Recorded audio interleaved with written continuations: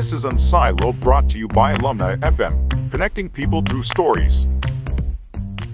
Welcome to Unsiloed. Uh, this is Greg LaBlanc, and I'm here today with uh, Stefan Dercon, who is um, professor at Oxford um, and studies African economies. He's also someone who's worked with the UK's uh, Department for International Development. So you have both an academic hat and a government hat.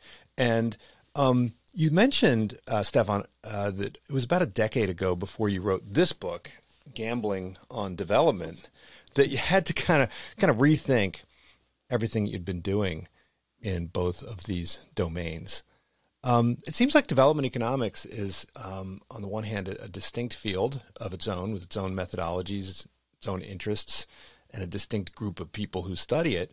But, but on the other hand, I mean, I think from an outsider's perspective, people would wonder, well, you know, why should there be kind of economics for developing countries and economics for for developed countries, right? Shouldn't there just be sort of you know economics of of of growth or economics of of, of good government? And I think in this book you you you walk through kind of a taxonomy of different kind of approaches to development economics. And, and I think that by the end of the book, you've kind of realized that there's a little bit of wisdom in, in, in all of them, but that there's no you know, silver bullet. And, and it seems like policymakers, you know, they, they want uh, a, a, silver bullet. And, you know, you described this one scene where you were meeting with uh, a minister in the UK government uh, who was new to the world of development. And you said, well, here, here's, here's a pile of books. you know, here's, here's like 20 books for you to read. And, and of course, I think her response was like, look, you read them. So, you know, you tell me what, what's in them. So, so um, you know, is development economics a, a, domain that I mean, have we have we really learned anything? Like, where are we in the world of development economics? Do you think that the kind of insight that you've come to over the course of your career is is something that kind of everyone in the field is is starting to come to, or or are there still kind of I don't know salespeople of silver bullets out there that we have to kind of warn politicians against? Um, so, so I do think that there's still a lot of snake oil, oil being sold everywhere. There is still a lot of these, you know, people that have magic beans in their pocket and they want to show it. But maybe that always was the case. And I think at the same time, you know, when you refer to what's been happening to um, development economics, do we need a separate one? Um, I just want to pick that for a moment, pick up that for a moment, because the, you know, I like to think of it. I'm an economist that studies development problems, so I'm not. I don't think there's a distinct methodology to do this, but you kind of systematically try to apply the insights from economics and mm-hmm. want to be broad-minded and maybe increasingly study it also from politics or other things to apply to this question that is now so far removed from anyone living in the US or, or in Britain, you know, that early takeoff, these beginning and these early, early moments. And I bet when, you know, the UK started to grow faster, um, you know, I think I, was looking at it recently that countries like low income countries now, they're probably at a level of development and Britain was in the 1750s or something. You know, I bet there were snake oil salespeople there as well. You know, people that went around with the bullets, silver bullets as well. And it's, and I find it very shocking that they're still there. And but you touched upon it already that politicians love them. You know, give me an answer. You know, don't tell me that it's difficult. No, I need to have an answer today. I'm going to do it quickly. And and um, and and especially a technology solution, you know, some like a little, uh, whether it's um, whether it's a small machine or these days an algorithm, and suddenly it will all solve it everything. It is so popular in a policy circle because you know you you you, you want simplicity because you you need to communicate simplicity then to people that need to either vote you or support you or keep you in power, and so doing it. So yeah, so we, we, we're still there. We need to avoid that. I really think it's harmful that we do that. Um, and you know, I'm not going to name names, but there's some well well-known American professors in certain universities who still occasionally go around and seem to be showing these magic beans and try to mm-hmm. sow them here and there. And yeah, I, am I'm, I'm not a big fan of, of that kind of way of, of advising policymakers. Well, I mean, it seems like there's two consumers of uh, of magic beans, right? There are the uh, folks who are actually running in the political circles of these developing countries, right? But then there's also the the folks on the outside, right? The folks who are um, providing uh, foreign aid, financial aid, right? People in the development uh, world, right, or in you know governments, and um, you know are are the people on the ground kind of you know wiser to this, or I mean, are they more kind of realists? You, you mentioned there was this wonderful story where you were um, in the presence of all these ministers. I think it was in, in the DRC where they presented this wonderful PowerPoint presentation detailing all of the the things that they needed to do and so forth. And and it would it was almost like designed perfectly for a, an audience of IMF specialists. But but you knew and and they knew and probably everybody in the world knew everybody in the room knew that this was just kind of a, some kind of theater right? I mean do do the do, do the people i mean do the policymakers on the ground in these developing countries do do they kind of see the the the reality uh, in in a more objective way? Are they kind of capable of seeing the context, or are they also kind of susceptible to um, you know buying these these magic solutions?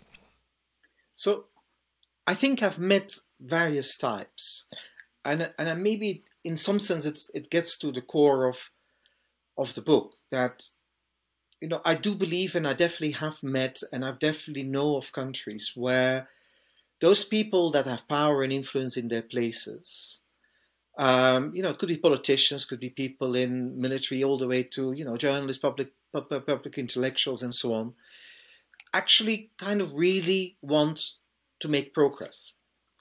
And mm-hmm. those who want to make progress, they are much wiser about their own situation because you know they know what the reality is. If you want to be effective in policy making in actions you know you can't do too many things at the same time. You need to think very carefully about your priorities. You need to uh, you need to be willing to learn what you do and you need to correct and you, you do so. And if you then go to these kind of places and i name in the book you know quite diverse things it's not just about china but it's can be places like bangladesh it can be places like indonesia it can be places like ghana where you know they are much wiser to that situation. And they also know how to deal with the magic bean sellers. And they know that the magic bean sellers need to come there and they will ask you, ask themselves hmm should I use a little bit of them? Because that's maybe one useful thing to do and and um, and doing it. And they, in contrast you have the other places where they couldn't really care less. Those with power don't really care, care at all about trying to grow the economy, not let alone to reduce poverty and doing things. Well, they love the magic bean salespeople because they come usually with a bit of money, they come a bit of publicity, grand occasions of signing ceremonies, bad massive things to do. And in fact, and I think it's a bit in the book also that I really go against because it's so tempting for the people in development. Mm-hmm to then embrace these people and say, oh, they want to change because they want my magic bean. You know, they agree with me that the technology here, that little thing, it's going to save it. Most of the time, it's these places where nothing will work.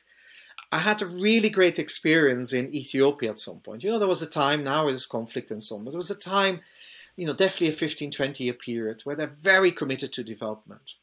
And I remember that because of some political reasons, in the UK, we were more or less instructed to, um, as the aid agency, we should have more programs that involve property rights stuff because you know that's how we think we developed. So everybody mm-hmm. should have very quickly rolled out property rights. I'm not saying there's anything wrong with property rights, but is that the next thing you're going to do and suddenly unlocks it all? So anyway, we are in Ethiopia and there was a program. And actually, interestingly, we knew they were getting interested in giving more land security to the small farmers. And there's some good reasons why this could work. And I was on behalf of the government, of the UK government, had to kind of offer, you know, would you be willing to do this? There is an interest here, maybe that's of interest to you. And they said, look, we'll get back to you. And, and I said, but you, you think they will want to do it? No, we're very interested in it. But if we really want to do it, we're going to do it with our own money because then we actually know that it will work in the way that we want to do it. But if we're not that interested, you can give us the money and we'll do it. And I thought, okay, that's a smart government. That's the one I like. They know their priorities, and the aid community can do a bit on the on, on the on the side. Well, maybe we can review kind of what have we learned, right? So I remember when I was in graduate school, um, you know, I did a lot of research around uh, the kind of theory of the big push, right? So that was that was the idea in the 50s and 60s was that you know if you just gave a whole bunch of money to these countries, right, then they would could escape this low level equilibrium trap, right? It was really about you know resources. Poor people were poor because they they were poor, right? And you know you didn't have any money to invest. So if you give them some money to invest, and you know we we we we didn't get great results. I mean, there, some countries did really well, like the Asian tigers. Others actually even regressed, like a lot of the countries in, in, in Africa. Um, and so, you know, the big push idea was was kind of abandoned or, or transformed.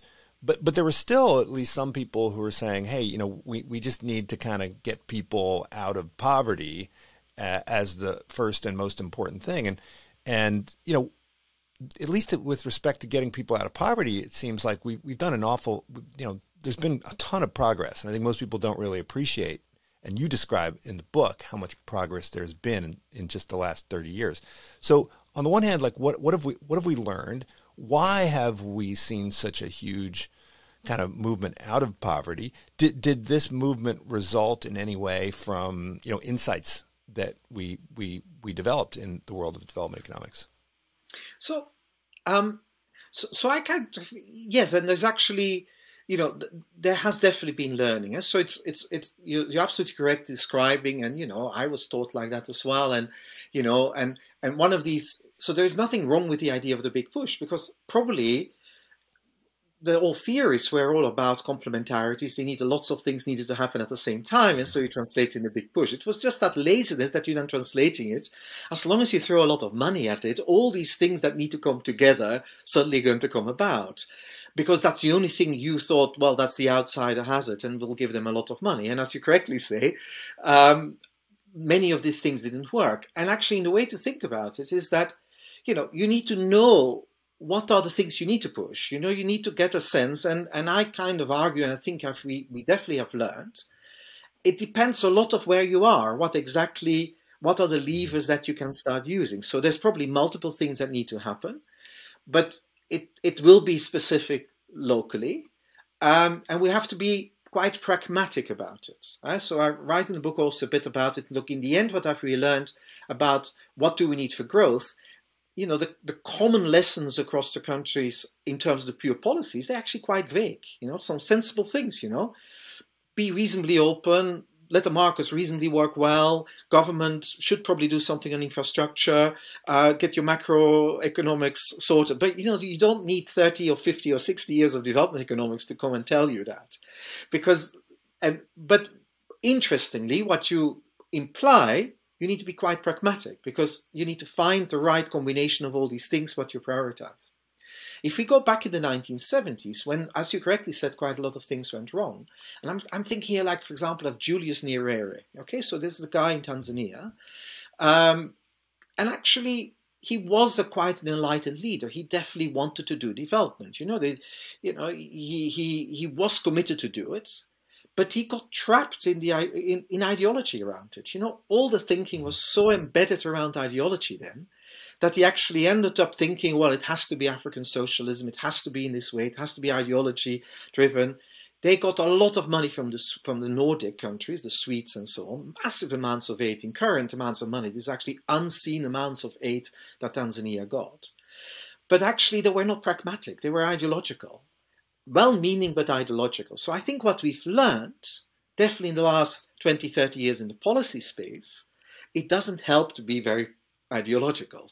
You need to be pragmatic what you do in your own country. Do common sense, and there's certain things, you know, we know more in economics about the things we shouldn't be doing than actually the things we should do. Okay, so we, we know that we, you know, in, in, in a particular moment in time, massive tax cuts is probably not a good idea. In other moments, well, maybe it's okay. We don't really know. And so it's a bit like that. So sensible macro policies and so on. And I think that's definitely a big part that we've learned. And the same we've learned that we can't ignore certain sectors. So we've learned, you know, you can't totally ignore social sectors. You clearly need to do spending in health and education. We've probably also learned if you just only spend in education, that doesn't create any jobs necessarily, and so on. So I think we've learned things, but um, not necessarily in this kind of narrow academic perfection type of sense. You know, that's academic research. You know, we go for the perfection, the perfect answer to something, but more kind of what is a body of common sense ways of approaching it. And then, like in the book, I write about it, but you just need a sensible government, someone who's committed to actually do something with it, to then apply it. And I think for a lot of the very poor countries, like in Malawi, I feel, you know, I'm, I'm quite embarrassed for Malawi at times because I think, you know, it shouldn't be so hard to add a couple of percentage percentages um, to uh, to to growth rates. You know, percentage points to growth rates. You won't be Singapore when you're stuck in the middle of Africa, landlocked with not very rich countries around you. But you can do better, and I think that's what we learned. That actually some sensible things to do to do a bit better. And this is actually, I think, behind that. It's not just the extreme cases like a China with an incredibly driven way of getting to very high growth, but that actually, you know, forgive me to say it a bit like, but India in, for a while muddled along a bit, but actually mm-hmm. in its own muddle, and it's a very complicated, quite dysfunctional place, gets to six, seven percent of growth rates because you know it's India had that potential for a long time, and when it got, once it gave get, got rid of a bit of pure ideology in the 1990s for economic policy, it's not so hard to actually start growing. Now, it may not get to 10, 12%, but it's not so hard for an India to unleash some of its potential. So we, we don't have sort of a, um, uh, an established playbook, really. I mean, you know, in, when there's a lot of similarities between kind of history and development. So I, I studied history primarily because I was interested in development. So I was trying to figure out, okay, well, you know, what comes first, right? So there was all this debate. Uh, okay, you got to have the financial revolution before you can have the industrial revolution. Well, then you got to have the agricultural revolution before you can have. Uh, you got to have some property rights, you know, reforms before. So, you know, if if we kind of encourage people to build the roof before they built the foundation, that's just going to be money down the drain. So, you know, we know if we're building a building, got to start with the, you know, foundation and then you got to do the walls. Like, do we have a, a playbook that people can agree on that, you know, you have to start somewhere? You know, do we start with, hey, let's, you know, get rid of infectious diseases and then we can start talking about, you know, education or, you know, is, is there any consensus around kind of a step by step? If you were to design a manual, you've got this new enlightened ruler of Malawi just just kind of wheeled into office uh, and says, "Okay, give me give me give me the give me the playbook." Right, and I, th- I think I mean a lot of development economics sort of just starts with the assumption that that person has the capacity to actually execute on you know the the, the playbook. Um, when in fact the, there needs to be like a pre-playbook that gives them the, the tools that will enable them to have the capacity to do any of those things right? Yeah.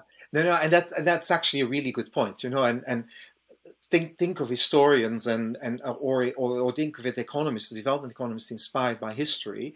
We got this entire field of institutional economics. Um, and of course, you know, if you take a book like Why Nations Fail, uh, uh, uh Daron Acemoglu and, and, and, James Robinson, you you you get a bit of an impression there when you start reading it, is that oh well, it's very clear, you know, you you you keep on just building these foundations. That's that's that's the thing you need to do. There's no way to build anything on top of it.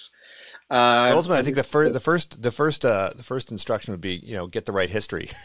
you know, make sure you're starting in the right place. That's, that's, the one that I kind of uh, also use in the in the book. Is kind of it's a really frustrating bit. Is that you know you you because you end up telling countries you know don't worry about anything here and now. You just build build yourself a good history now in building institutions, and of course people don't have times. And actually, the house analogy I've never thought of it, but it's actually quite an interesting one because you're not going to first spend all your time building good foundations because then you're totally wet and you you don't sleep any night. You probably build something that's not quite perfect, but you actually make sure that it has a roof that doesn't fall off entirely. So now after a bit, if you then put in some things, so you have a very weak floor, but you put a few more things in, you need to strengthen that floor as well. So, so you, so, and, and I'm a strong believer, the more I, I worked on development in this kind of there is agency here and now to already do something. You know, you can't wait until perfection in anything. So, so you're not yeah. going to get all the education sorted and then doing it. And so people in development like to often think very much um, a bit like you know the actually it, it came out of, of, of marxist thinking this kind of waves you know you need to do on the first wave and on the second wave and on the third wave or whatever or some Rostow type of thing you know that you had to kind of think. And clearly that's not the way it is. And in fact the last 30 years prove that that's not the way it's, it's going. There's countries that become opportunistic.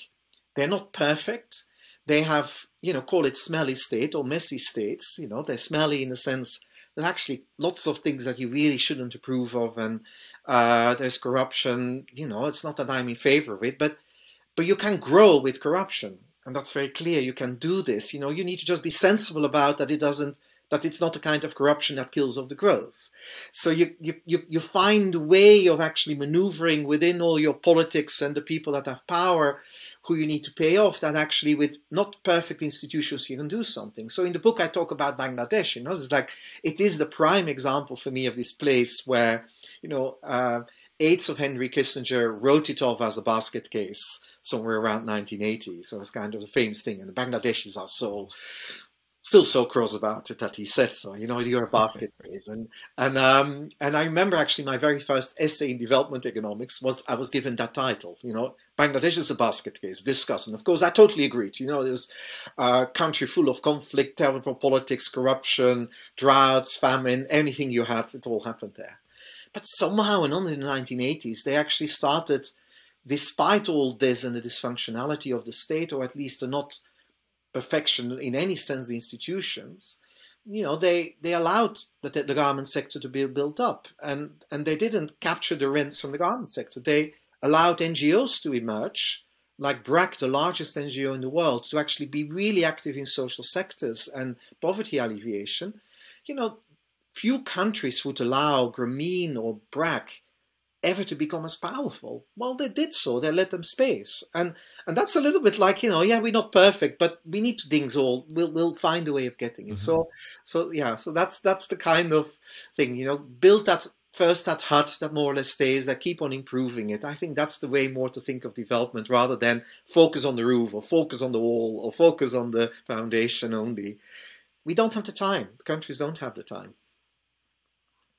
Well, I think the heart of your book is really about this thing that you call the, the development bargain, right? And of course, I think it's it's very pragmatic. It makes perfect sense, I think, to folks who have a political science background, or even people who are kind of schooled in, in kind of the you know Coasean approach to economics, which is, look, you know, if people who have the capacity to make the country rich have no interest in making the country rich, it's it's never going to happen, right? I mean, it, it, the people who have the capacity to make it happen need to be uh, capable of participating in that you know increase in, in, in, wealth, right? So you know they have to benefit. And what what what what I've always seen, I've sort of you, you use the analogy of Warren Buffett, right? And you talk about if you're an outsider and you're going to provide aid to these countries, you have to kind of take a Warren Buffett approach, which is sort of a um, you know value based approach.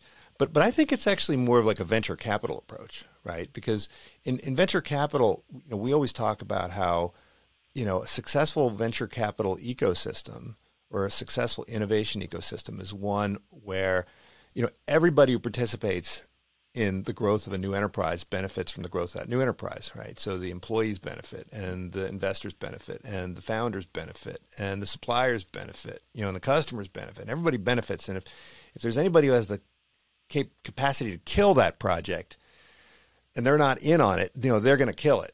And so I think, you know, it's structuring these deals. So so how, you know, why how did these how do these deals work? Like why is it that say in Ethiopia a deal was able to be struck yeah. between the folks who have the ability to kill growth and um, the folks who you know are on the ground. How did this deal take place, and why? Why? I mean, if you were going to predict which countries would have the preconditions for these kinds of deals, would you be able to do so?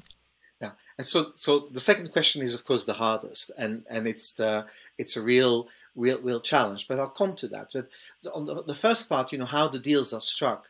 So, so it's again very striking when you look around the country. So first of all, you know, there was no signing ceremony on TV. Okay, this is not. This is all implicit. You know, this is not something that's uh, being televised uh, live and, and suddenly the deal is there. So we're talking about implicit deals, uh, implicit contracts that that that seem to be emerging. So when you look around in the different places, so so I find China first interesting. Okay, so in a sense, they did around 1979. You know, whatever we think of China, they did something quite remarkable in the 19, 1979. Is actually, to some extent, a battle within the party, coming out of a lot of instability, uh, Cultural Revolution, Mao's death, the Gang of Four, the, the leadership struggles, and so on.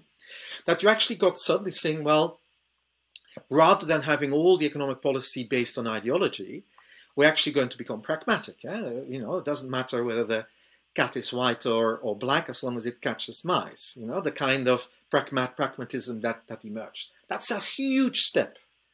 How did that come about? Well, clearly with endless maneuvering within that group, and it was a hugely uncertain thing. This is not like Deng Xiaoping stood up and everybody applauded, oh, that's a great idea, we're going to do it.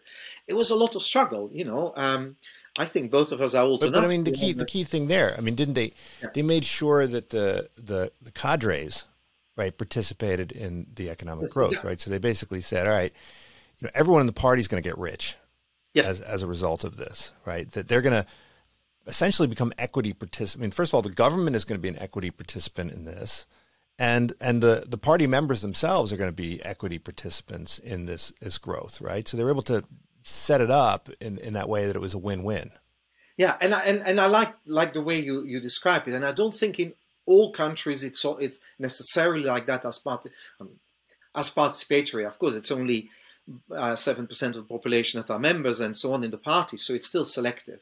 But it, but but you're right; it's set up in a in a clever way so that that actually it creates a stability. The deal is stable, you know, and that's an important part. Within your own polity, it had to be stable. So Think of it in Bangladesh where the constraints on the deal were largely, you know, horizontal, different elite families and the whole kind of players. It's not about an ordinary people. That's not quite at the time that was playing. But it was very much, I think, the elite families that actually, you know, they hard won independence. You know, it's about 10, 15 years after independence, uh, separating from, from, from, from West Pakistan but actually haven't delivered anything. And they probably got a bit worried whether they actually could survive themselves. So there's a bit like, we're not going to fight each other anymore as they were doing, but actually we better have an implicit coalition to actually let certain things happen. So ideology was more dumped, pragmatic, new elites that emerged out, like in garments, we're not going to try to kill them off or whatever. And, and the same with BRACs. So there it's very implicit, and it's definitely in their interest coming out of a crisis and thinking, you know, we may not survive here. Ethiopia is then arguably, and maybe we, we maybe also it helped. The, the, nature of the Ethiopian deal is interesting in the sense that it helps to explain maybe why it was much more fragile and seemed to have unraveled. Is that you know we're talking about a small group of people. At the end, in the end, was a controlled thing. People that were still representing those who had risen up in power through those you know, this coalition led by Tigrayans that had gained power through to, to, to, to violence and but they actually needed legitimacy. The, the prime minister at the time was very striking. He clearly, and in his writings, it's very clear, he, he sought legitimacy through development, probably conscious that the underlying political deal was quite fragile. So you seek legitimacy through development and saying, mm-hmm. that will help me to stay in power because there's no pressures then. And but the political deal between in, in, Ethiopia between the different nationalities, the different ethnic groups, was quite fragile, and that's the one that's un, that actually came unstuck, because actually in any rent sharing deals, it's not just the ordinary people have the benefits, but actually those in power as well. And actually, mm-hmm. arguably, you could say in Ethiopia, it was very much some of these groups really perceived and then mobilized their own nationalities because they were not really part of the deal. And and you know, because we should not forget the conflict in Ethiopia all these people were in the deal to start with. This is not like uprising against something. This is actually all, all the people that had the elite deal that then broke down. And I think you start looking at it in different ways. In Ghana, it was actually they needed democracy to actually help to create some stability. And a mm. democracy of a kind where they learn to respect transitions of power, which they hadn't done in the past. So in, in, you have a huge culture there now of presidents that, that get kicked out and then quietly leave. Very unlike most African countries. That's the basis of their stability. There's an elite deal and saying, yeah, for a while it's my time to eat. It's not, not, it's a bit corrupt there. It's my time to eat and control government and keep on doing relatively sensible economic policies. And then, you know, well, if I kicked out, well, it's someone else's time to eat. And and, and it's a bit more the recognition of that. So it, it it's very specific. Now, you asked about predictions. Um, you know, of course, history will still matter. The strength of the institutions. If I if I can have a small elite can be really rich from oil, like in Nigeria, that's still going to be tricky because why the hell would I move aside? You know, why the hell? It's mm-hmm. it's the deal works for, and it's not for five people, not for hundred people. It's probably for fifty to hundred to hundred thousand people. You know, Nigerian middle class, the top end, good life. They all have a house in London or somewhere. You know, and it works because there's enough oil to have a really good life for 100,000 people or maybe something like that. Um, and, you know, that's hard to undo. The other thing is also, you know, if you have a tradition of people will really expect a bit of results from government, then it becomes harder to, uh, but it's easier to, to actually sustain it. And I think Ghana is a case in point where actually this kind of bit more results, bit politics is there. But then in the end, how do I judge there is a development bargain emerging? I'll have to look at actions and behavior. So, so in my mind these days, what I have in mind is that in every country, if you talk to, to groups of people, and I've been doing this with Malawians a bit, if you were to make a list of 10 things that is really in the interesting power that doesn't change, but it's part of the, a symptom or maybe a cause of where everything is not going well, what would these 10 be? And we probably quickly agree on five of them. Then I would say, look, a government that begins to attack one of these five, I kind of think they're actually trying to really mm. change it because they are doing it to move away from this kind of low level equilibrium. They say, no, we need to take a bit of a gamble to go for another type of equilibrium here. And that means undoing some of the vested interests that want the status quo. Well, you know, in the, in the book, you talk about market failures and you talk about political failures, or rather you know government failures. But I think really the heart of the book is about political market failures, right? I mean, yeah. Because it's it's it's one thing to say, oh well, you know, the elites just need to cut a deal with everybody else, but you know, who are the elites, right? I mean, do they have a, a do they have any kind of decision maker who can kind of act on their behalf? And and so you know, I've always thought that when we look at a case like England, um, it's kind of an easy case because we already had we you know they had parliaments and they had guilds and they had courts and they had all of these folks that could get together in a venue and and kind of engage in horse trading. And these countries you know often don't have kind of stable representation of different interest groups right? So so do we need to spend more time thinking about you know kind of institutional design around you know how to structure these bargains to facilitate them to kind of make it more likely that the parties can actually get together? And uh, at least in, from an outside perspective it seems like you know we're too fixated on kind of dragging and dropping like a you know US style or UK style parliamentary system and then just having like a first past the post you know vote and if it's the Kikuyu that win then they get to eat, and if it's the Kalenjin that win, they get to eat.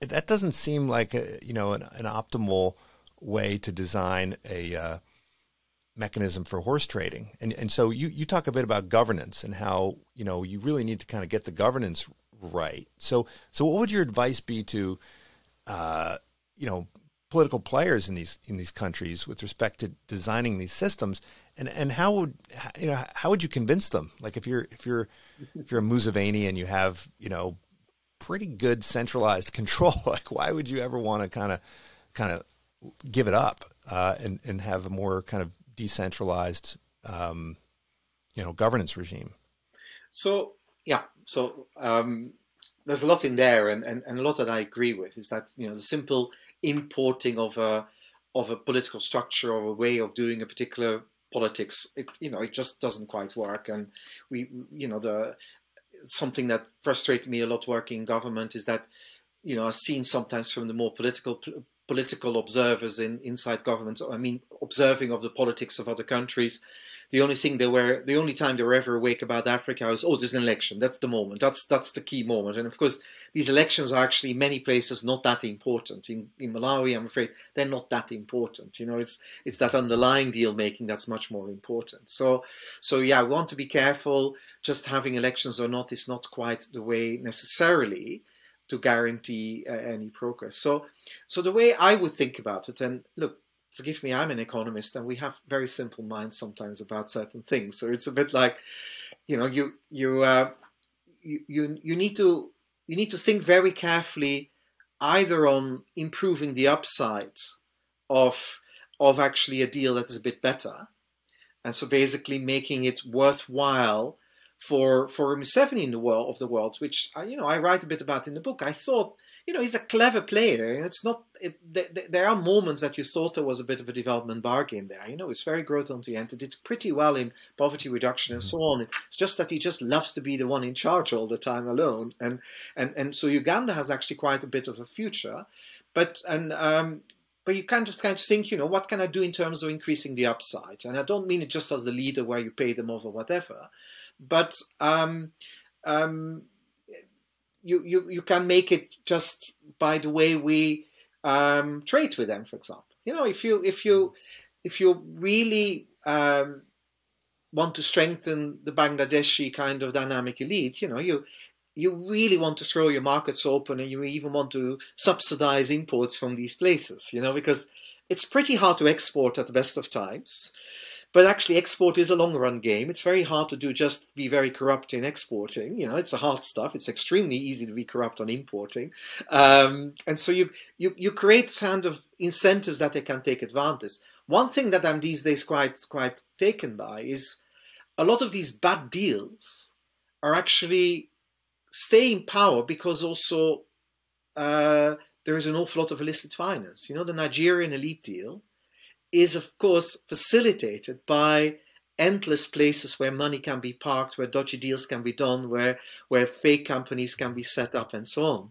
So actually, something we can really do is to make it actually much harder to keep these bad elite deals together by actually just making it so much harder that all these hmm. facilitators of uh, of illicit finance. Um, you know, at the moment do so. You make it just much harder for these things, and I think there's a bit of a window because you know, because, you know, of course, countries like the US and the UK believe in rule of law, so we are going to make laws now to do this for Russia. But of course, the laws will be there, and we're going to make it tighter. You know, let's keep an eye on any other tin pot dictator, but also all kinds of elites that that that plunder their own places and are not at all interested in development. So, so there's things you can do, and we need to be a bit more creative because just thinking a small project to build some capacity in the Malawian government, I don't think it will do it. You know, you you, you, you need to you, you need to work a bit more more carefully on the on, on, on the upside and on the downs the downside from the current deals and the upside of um, of potential better deals.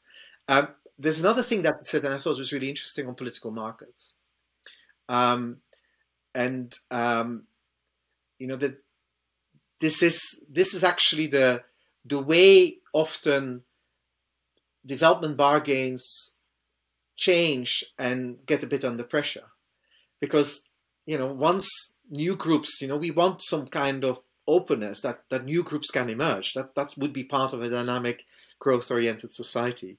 They will want to have a stake in it. So there needs to be some space as well for them to be included and so to doing it. Because in many places um, and I'm afraid that was the case in Ethiopia. It was definitely the case in Sudan historically. Um, the best way to to get be, be more taken be to be taken seriously by the central state is by starting an armed uprising. and so the political entrepreneur, the only route was to actually create more chaos. So you want to create mm-hmm. enough opportunities that new elites can come in as well. And I think that's political markets, you know, to thinking about entry and exit the, the entry deterrence? Can you do you reduce the barriers for new elites to emerge and so on? So there's a lot of these frameworks of industrial economics from that actually we yeah. should use for to thinking more about political markets. Yeah, I kind of like that. Like think think like an antitrust type person, right? You know, you want to facilitate the good deals and break up the the the bad deals, right? And so Um, so one way to kind of strengthen the the good deals would be to, you know, look for those players that are that, that lack representational capacity and maybe kind of encourage it in some way. And is this is this kind of in line with when people talk about building civil society, right? I mean, is there an overlap between that discussion and this idea of, you know, giving these these folks some organization? I mean, maybe fostering trade associations, fostering, um, uh, you, you, know. Uh, chambers of commerce or or you know fostering these these these non maybe non political forms of representation so that they can get a seat at the table yeah. So, so, so yes, so that's correct. But you need to be really careful and selective on. So you mentioned Chamber of Commerce. In many places, these are the these are the, usually very close to government. These are the connected businesses mm-hmm. and so on. So they're not necessarily the ones. But but but but but the point, the underlying point, is really really good. And and, and just a couple of examples that recently I I came now across is that so so one thing I got very frustrated in Nigeria, and you know I, I people like me get very frustrated with Nigeria in general. Uh, there, we've poured a lot of money, also from outside, but even in, in internal philanthropists, um, money in civil society. But you know, the, the point with civil society is that actually, if you then go and agitate, there has to be someone who cares enough that actually agitation has an impact on them. And so for example, they were looking at the transparency that of, the way the elections were controlled in, in Nigeria and the, the change of money and exposing all kinds of things. But fundamentally, the elite doesn't care about it at all. So there's these programs has virtually no impact. So so it's so just building up. It's a bit like supply and demand, you know, building up the supply side without there's actually a demand for any of that. It's not going to help you that much. So you you need to think a bit like what is the entry point, say in Nigeria but interestingly, a few days ago, we were talking with a group of people around, you know, what would be an elite bargain look like in, in South Africa, where they clearly need a new growth model and it's quite stuck and worrying in all kinds of ways. And and someone, uh, look, I can, can mention it on, on, on a, a, podcast like this. It's like Ricardo Hausmann, of course, is a smart guy, and he's been working, thinking about growth stuff in that country. And, and he made the observation that, you know, the, the, the interests of mining have far more influence than the interest of agriculture. Mm-hmm. And I mean that broader agriculture, not just the, the, the few Afrikaner farmers or whatever, but broader agriculture. And of course, because the mining interest is just a few players, they can organize themselves well, they can do it. Yeah. And so their case is always heard. So there's nothing that will ever happen. While, and someone like Ricardo would say, and I probably would agree with it, there's a lot of growth potential and export potential still from South African agriculture. They are incredibly good in, they're supplying already lots in Europe, but they could do far more. And of course, it's very labor intensive. There's also more black farmers involved in that and so on but they're just not organized. And so actually mm-hmm. to it made me think, you know, clearly there's actually a good idea here to actually say, well, how do you bring a trade organization, not just as a lobby group, yeah. but actually as a as a force for for for shifting this kind of relative importance in politics. And and and I think that's exactly also what you allude to, I think. And that I think that's absolutely right. But you need to get a good sense of the underlying political economy networks, you know, who would be the players.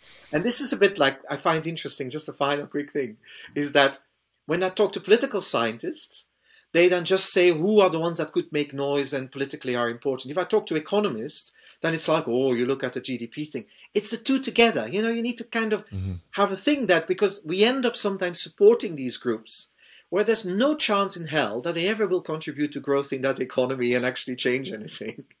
And that no, that's not helpful either. You need to find the groups that at the same time can also be helping in the transformation of these economies and make them mm-hmm. grow, make them dynamic, make them inclusive, and so on. So we need the two sides and thinking thinking about your point in two ways, from the economic and from the political side.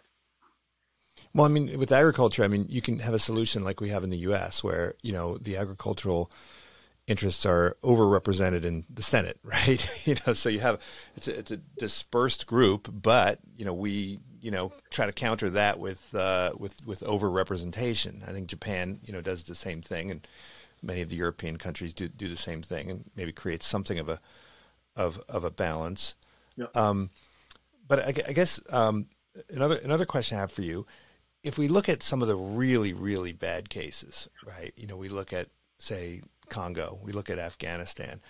I mean, you couldn't imagine a better situation than to put somebody who wrote a book on failed states in charge, right? And that's what we, you know, that's what happened in Afghanistan. And so, you know, I, I, think it's a bit ironic that that we had someone who is like an expert. I mean, if you, Stefan, you know, we put you in charge of the Congo, right? You know, would we expect any kind of of, of success? And and and then I guess the, the second question is, you know, we we know about um, the resource curse, right? And when you have and I think the resource curse is, is under, misunderstood by most people. Most people think, oh, if you've got a lot of resources, then you know you're not going to have any need to pay attention. It's not really about, you know, the presence of resources. It's about the presence of resources that can um, that, that can you know be controlled re- relatively simply, right? With with you know and the knowledge and the know-how is relatively easy, easy to acquire in one place, right? So oil is a perfect example. You know, mining is an example. Um, you know, foreign aid serves as has more or less the same function as as the resource curse, right? Where if you look at Afghanistan, the vast you know half a majority of their budget came from foreign aid, so they spend most of their time trying to satisfy their external constituents instead of their internal constituents. So so I'm, I'm somebody who studied the history of taxation, and so you know my view is that when the government needs your money, then they will you know pay attention to you, and if if they don't need your money, they're, they're not going to pay attention to you. Should should we be thinking about you know designing optimal tax policy in, in, a way that would encourage more more development? Is is that is that a technological silver bullet in some way? So, so look, there, there, there are many people uh, that would agree with with that as the kind of primary thing we should be doing. Yeah? So people like uh, Tim Besley or Thorsten Persson, they they they've written books, book and articles about it, and kind of say, look, this is the first thing you. It's a bit like the first thing you start with it, and so so so the tricky thing with with with that silver bullet is that. Um, and, and it's it's always a bit like what you does it mean in terms of how you will then start with that. Because you said it very carefully is that and that definitely happened in england historically the state needed your money. Okay? So that's not the same as saying helping a state to get money. And uh, and so some of the most effective actually also research projects on on on um, on, on working on governance and government have been all these programs, including in the DRC in Congo, uh, in trying to, um, you know, they and, and, and they're, they're, published with this kind of real air around it. Look, we found something where we can get the government to work because they now become very effective in raising taxes. Mm-hmm. Now, I kind of smile at it because it's the last thing I want to do in the, uh, in the regime at the time, Kabila's regimes, put more money in their pockets.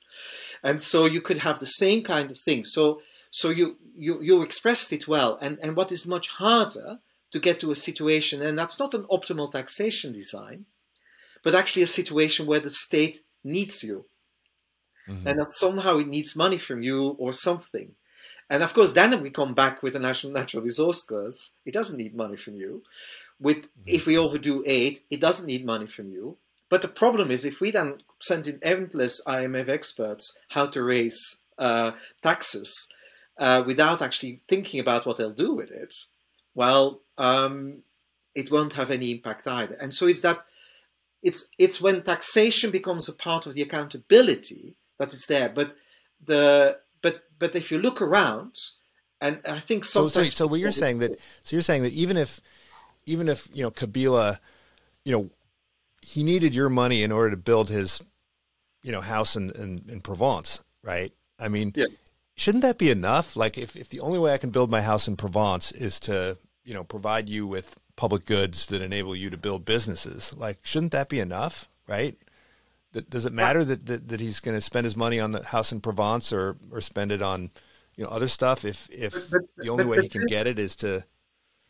Yeah, but since he controls the state, um, and, and of course it happened with Mobutu, with this, with this uh, well, before the two Kabilas came, um, so Mobutu um, clearly believed in that principle. You know, let's let's make sure we raise all the money because I do want my house in, in, in, in the Provence. I want a few houses in the Provence and I want lots more.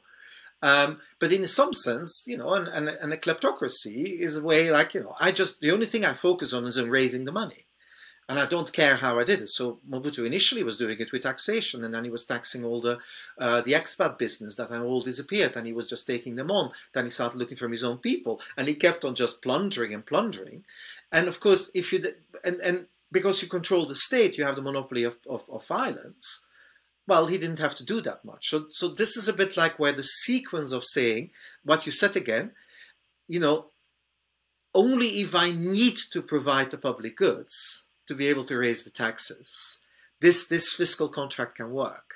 Mm. And and the fiscal contract historically got to work in the in the in the cities in Europe where, where we first noticed these fiscal contracts and so on, and I'm sure historically in other parts of the world as well but we can't take it for granted. And it, it's always a little bit like what you do in policy and say, oh, clearly taxation design is the optimal thing to do. Oh, we sent in the IMF, go and raise the taxes.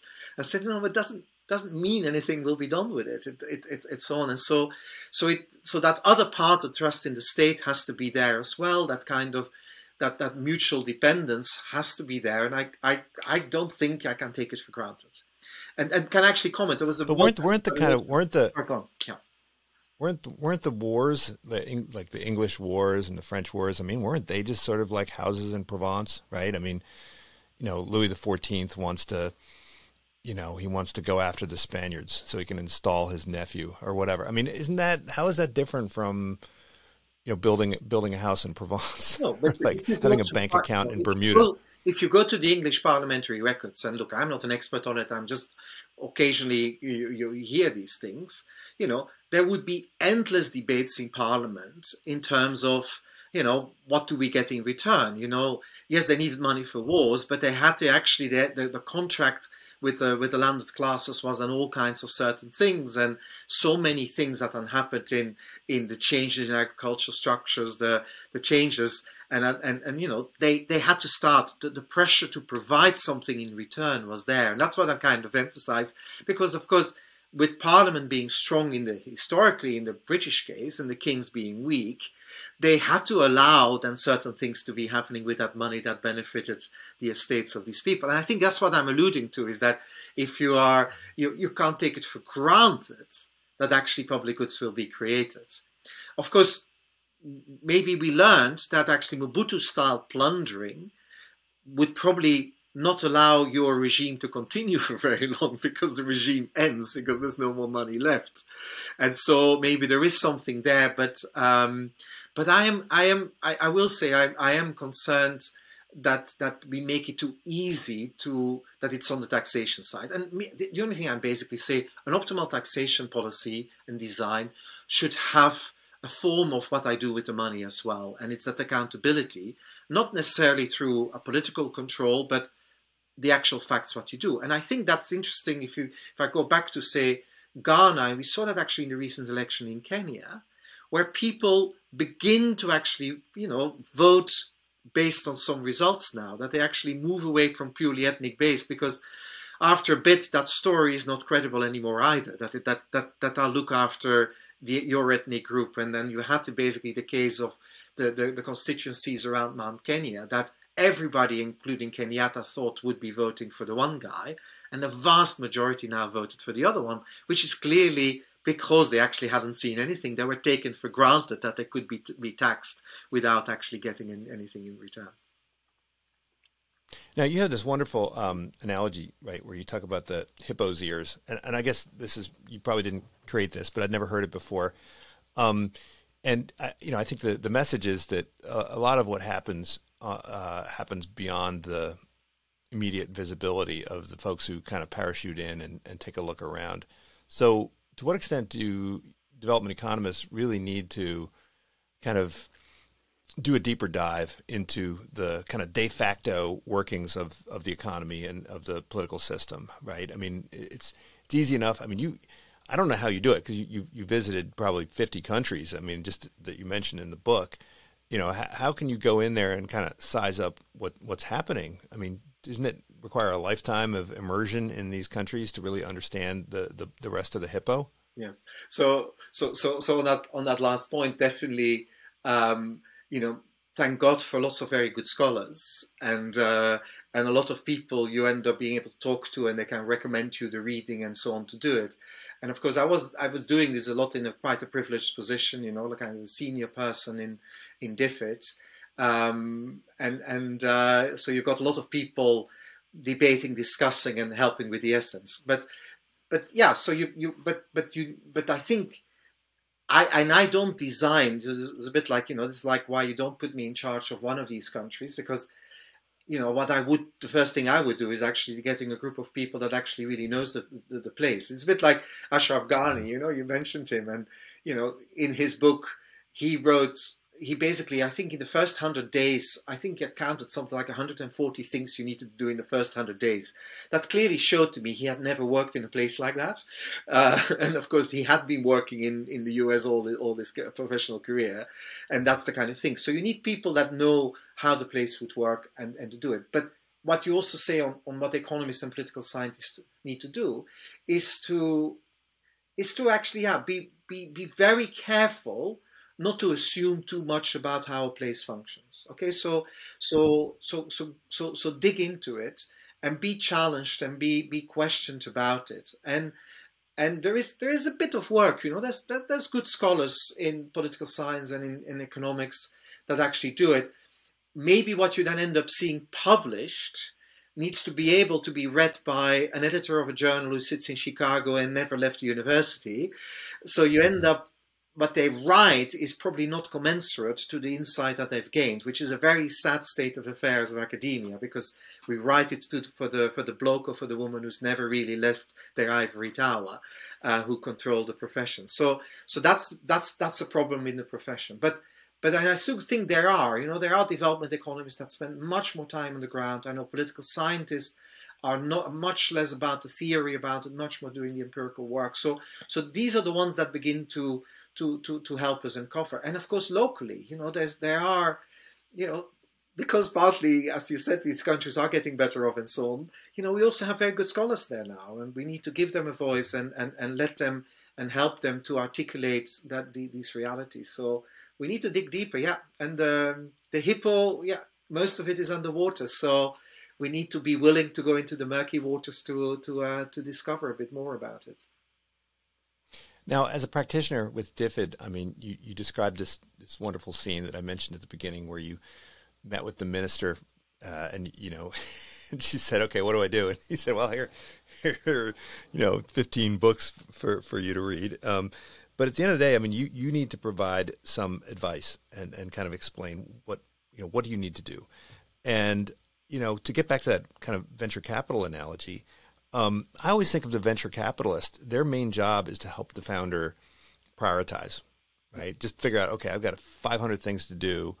You know, what's what's top of the list.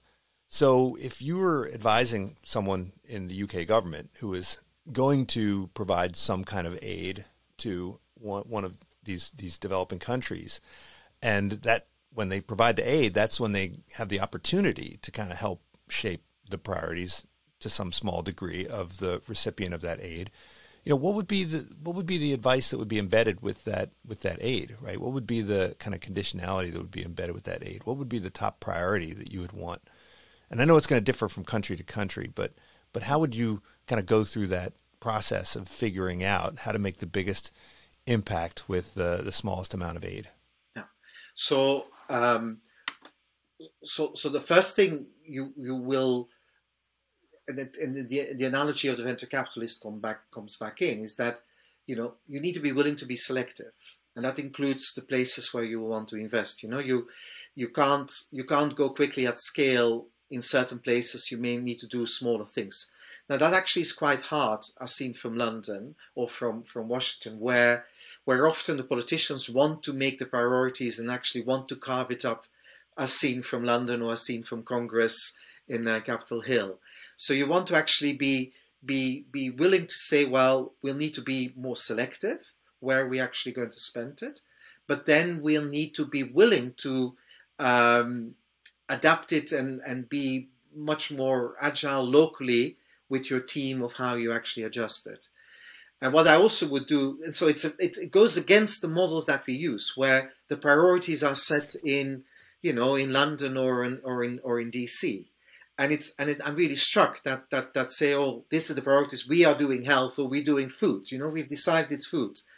Now, for the kind of change I want, it's not there's not at all clear that working on food security is for every country in the world the best entry point to actually get change. For the reason that we had, you know, in certain places there may be certain groups where there's actually an opportunity to work with. And you know, if they make plastic buckets, I would work with the plastic bucket producers rather than with mm-hmm. food producers. I would want to do this. So so you need to decentralize, you need to be willing to do it. Now from the moment you decentralize, you have to do and that's the hardest one you know you you need to be willing which is as outsiders we don't really like to do is to you know place your bets, and then it's a bit like the venture capitals. Trust your team. You know, the trust these teams that that they're actually going to do it. You know, you give give them advice, but trust somehow that team that that actually will do it. That means, you know, you need to make a bet on Ghana and, and the Ghanaians that are in power, rather than trying to say, no, no, actually your priorities are wrong. I'm going to do my own, because then you do mm. everything. It's nothing there. So that's a little bit the tricky bit you need to be doing. And in, in a development aid, we don't like to do it. You use the word conditionality and say, well, conditionality will not work because the guys that don't want to develop will not develop because you put some conditions on your aid. They will find a way around it. And the people who want to develop, why do you put them the, the conditions on it? You know, help them to do it in their way. And yeah, and make sure that they learn. And you could put your money in evaluations and say, look, as long as you promise we evaluate well what you now did, and then willing to actually embrace some of the lessons, it's fine. But rather than, no, no, I'm going to tell you that you're going to prioritize in your country food security or health system strengthening, and in your place we don't, and, and we won't do that because that's not what we do. No, you, you need to be willing. You know, if in the end it's these elites that somehow have the power to block everything, well, you need to work with them. And that means the governments, the big, big the big players, rather than saying, oh, I'm going to be the, the cleaner than clean little outsider there, working with some obscure um, NGO with the British or American flag on, and wow, will I feel good that I'm changing this country? No, you're not changing this country. You're doing trivial things. You may do do good, but I don't think the sums involved from foreign aid from governments are just there to do little bits of good to do it. You know, this is an opportunity we miss because if we only do that, we'll screw it up further, as we saw in Afghanistan and so on, where the volumes involved. There's no way you could ever build up a state. You know, whether Ghani was the right person and all the other problems, but there's just no way you'll ever build up uh, an accountable state by, by, by, by, by acting like that. By the way, well, Stefan, thank you. It's not very popular. I tell my boss, you know, I basically say, give your power away. It has to be more locally. Trust the other government. Of course, that's why I can sit in that room as an advisor, but maybe being less successful than I sometimes would like to be. well, Stefan, thank you so much for joining me. Uh, the book here is called uh, Gambling on Development um, Why Some Countries Win and Others Lose. Uh, and you know, it's not really about gambling. it's actually trying to uh, reduce the convert the gambling into some you know strategic betting. Uh, I think that's really the idea. So um, again, thanks for joining me. Hope to chat again sometime soon. Yes, well, thank you very much, Greg. It was a real pleasure to talk to you. Thank you. This is Unsiloed brought to you by Alumni FM, connecting people through stories.